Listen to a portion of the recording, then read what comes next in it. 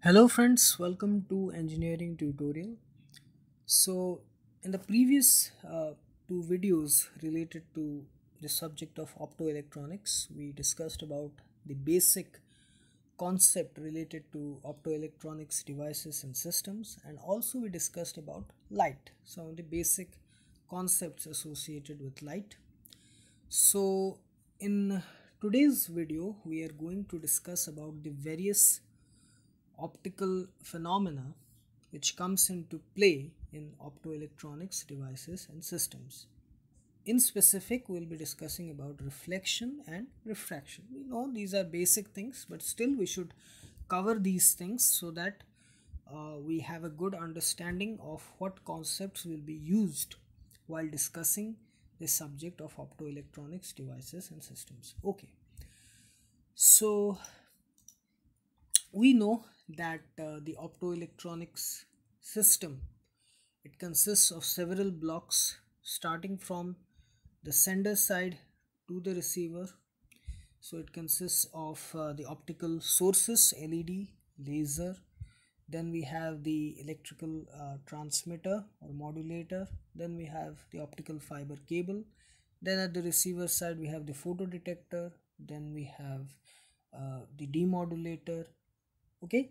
So all these things they are fabricated they are made using semiconductor devices semiconductor materials. So obviously there will be an interaction of light with these semiconductor materials. So there this optical phenomena the various optical phenomena they come into play. So when light interacts with these semiconductor materials, the various uh, optical phenomena that take place are reflection, refraction, absorption, interference, diffraction, polarization, and another uh, thing which I missed here is the scattering phenomena. Okay, so we'll be discussing about uh, each of these uh, things in uh, a separate video. Okay, so that we can discuss them uh, in a good way. So in today's video we are going to discuss about reflection and refraction. It is also called as transmission. Okay. So first so reflection. So reflection is the phenomena the optical phenomena in which light returns back to the same medium in which it was originally traveling when it strikes a surface, a smooth polished surface, for example, a mirror. Okay, it's the most basic example of reflection of light. So, this reflection of light it follows the there is a suitable uh, there is a law associated with which is the law of reflection of light that is the angle of incidence is equal to the angle of reflection measured with respect to the normal. So for example, if this is a ray of light, it strikes a polished or reflecting surface such as a mirror. This is the angle of incidence, the angle at which it strikes the mirror measured with respect to a perpendicular drawn at the point of incidence. And this is the angle of reflection again measured with respect to the normal. So as per the law of reflection of light, this angle of incidence is equal to the angle of reflection. Now we have studied it in the optics section of uh, our uh, senior secondary level physics. So we know this thing. So this uh, will be used, this phenomena will be used, this law will be used very much when we discuss about the optoelectronic system. Okay, the various uh, things that will be used, it will involve this thing. It is a basic thing, but it is very important. So this is the reflection of light. Then we have the refraction of light.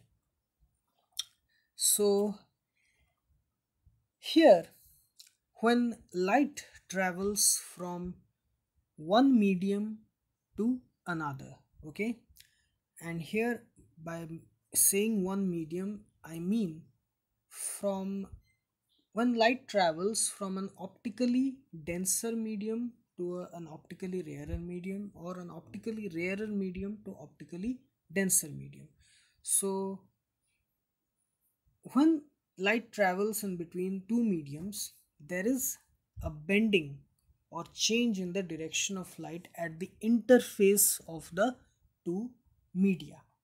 Okay, so interface is the point of separation, the fine line that separates the two medium. And by optically rarer and optically denser, it means optically denser means the, the medium having a higher refractive index.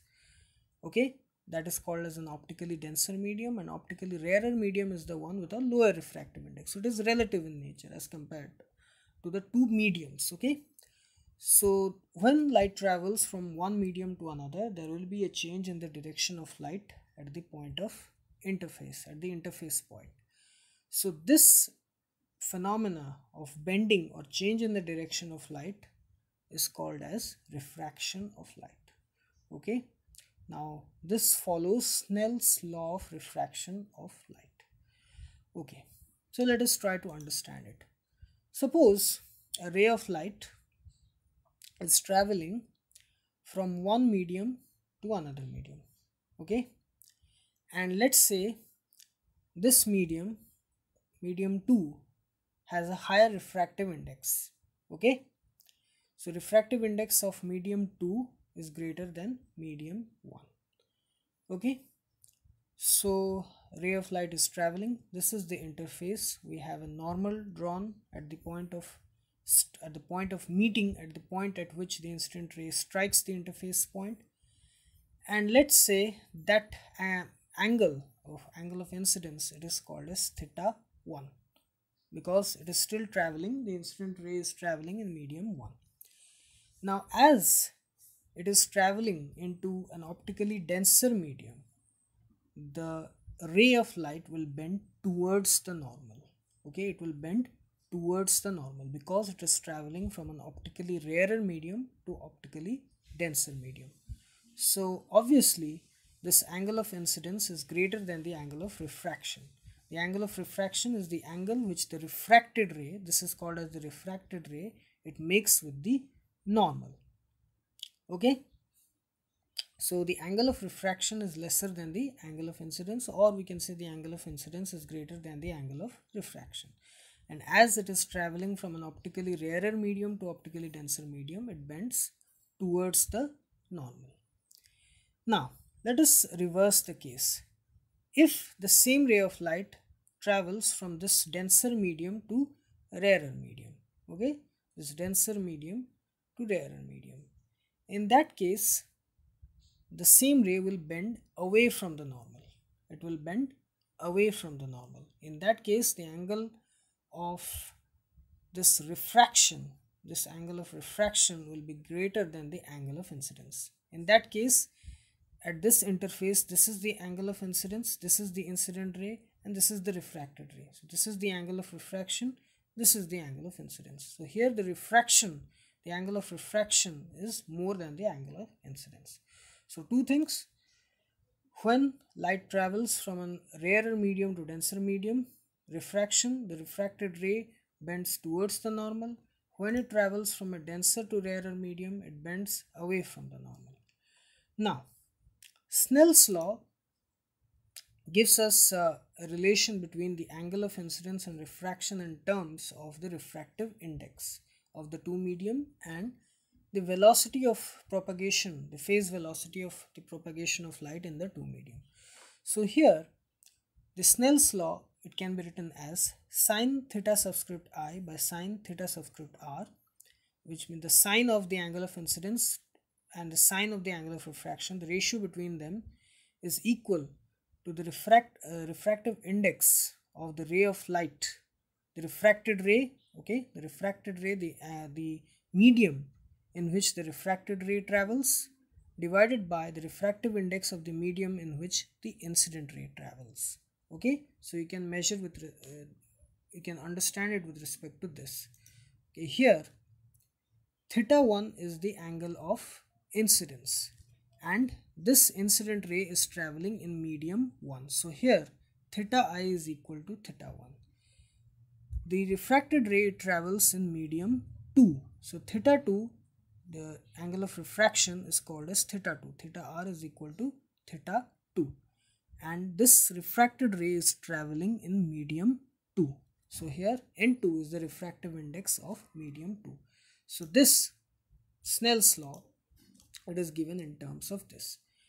And uh, it is also related with the phase velocity of light as the phase velocity of the uh, the medium of the light in the medium in which the incident ray travels divided by the phase velocity of the uh, medium in which the refracted ray travels. Okay?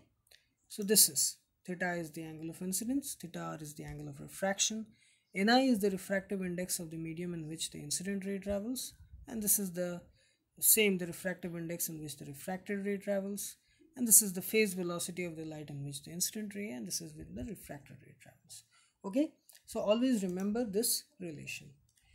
Also the snell's law it can be represented in terms of permittivity and permeability of the medium. That is the mag uh, the electric permittivity and the magnetic permeability so permittivity is of a medium can be defined as the ease with which electric current can propagate or electron can propagate through the medium and magnetic permeability is the ease with which the the, the thing the magnetic lines the magnetic flux can propagate through it. So electric permittivity and magnetic permeability.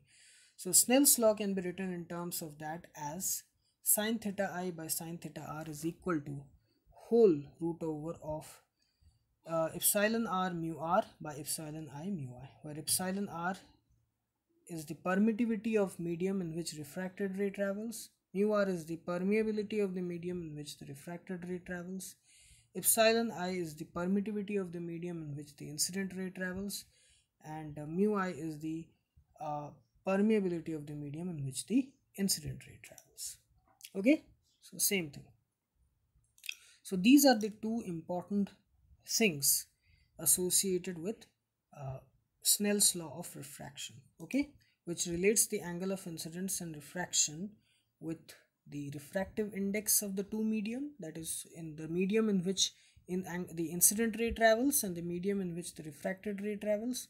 Also the velocity of uh, propagation of the incident ray and the refracted ray and also with the permittivity and permeability of the two medium so these are some important concepts associated with reflection and refraction, uh, refraction of light. So which will be very handy in the upcoming uh, days in which we'll discuss about optoelectronics in greater detail.